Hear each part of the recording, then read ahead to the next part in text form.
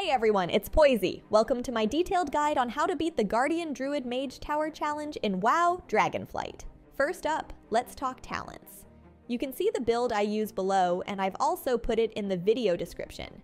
Remember, in the Mage Tower, everyone's gear level is set to 120. If you like using consumables to give you an edge, I've listed the best ones to use. Now for the first phase of the challenge. You're up against Inquisitor Variss, Switch to Moonkin form and use your ranged DPS to handle his Aura of Decay.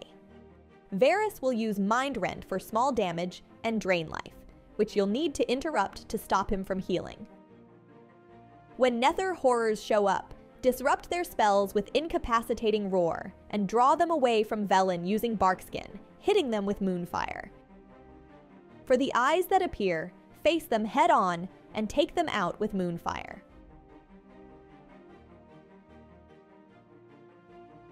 As this phase progresses, Inquisitor Variss will call forth Smoldering Infernals. Dodge their attacks using skills like Dodge, Skull Bash, or Wild Charge to avoid being knocked off the platform. Remember, Infernals keep coming back to life, so keep your focus on Variss while continuing to target them with Moonfire.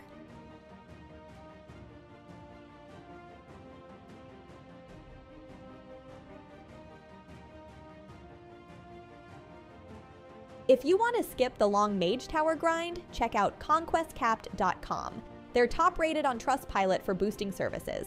They can finish Mage Tower challenges for any class in about 15 minutes, safely and without accessing your account. They're super quick. For more info, click the link below and use my special code POIZY-YT to get an extra 10% off. In the second phase, it's time to go all out with your damage. Use your strongest attacks, potions, and drums here. If done right, this part should only last about a minute. Be aware that creatures from the first phase will keep appearing, so you'll need to manage them while you fight Kruul.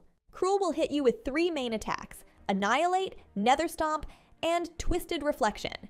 Annihilate gets stronger with each hit, but you can handle 3 to 5 stacks with the right defenses. Use Velen's Holy Orbs and Mighty Bash to lessen Annihilate's impact dodge the fiery area left by Nether Stomp. Make sure to interrupt Twisted Reflection with Skull Bash to stop Kruul from healing a lot. That's how you do it.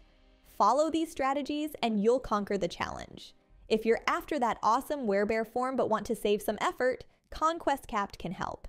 Check out the link in the description. Good luck and have fun with the challenge. See you next time.